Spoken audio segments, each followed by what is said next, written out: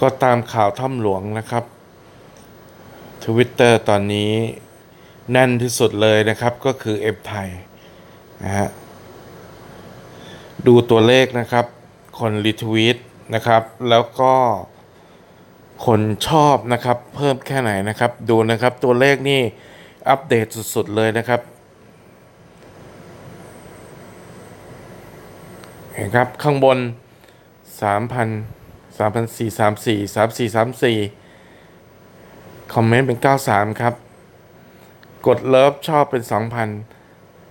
35แล้วครับ กดเลิฟเป็น2,000ครับ ไวมากครับ ไวจริง ๆ ครับ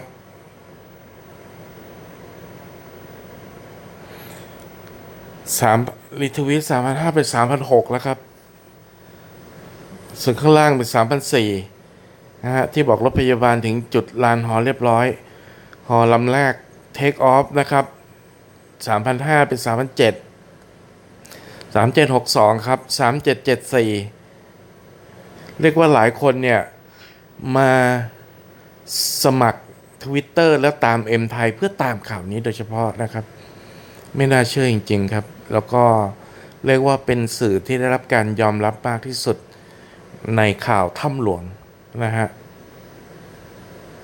เหลือเชื่อมากครับหลายช่องหลายทีวี หลาย channel ได้ใช้การถ่ายทอดสด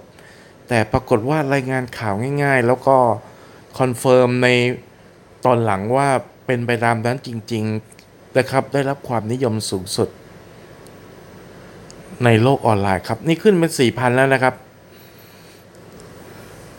กดเลิฟเป็น2,003แล้ว2,324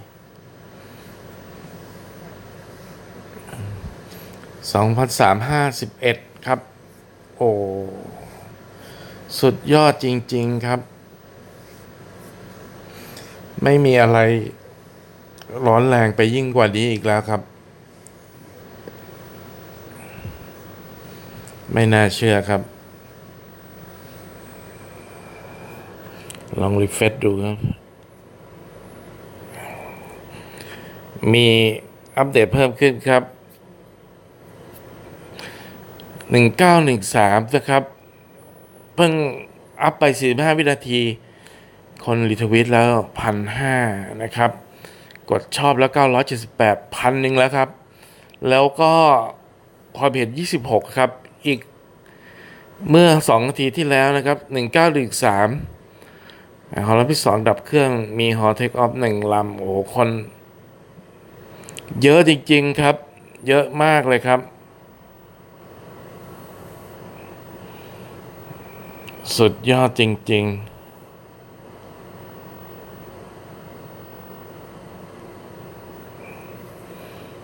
โอ้ยอดมากเลยครับ ไม่เคยอะไรยี่ถือเป็นประวัติศาสตร์นะครับ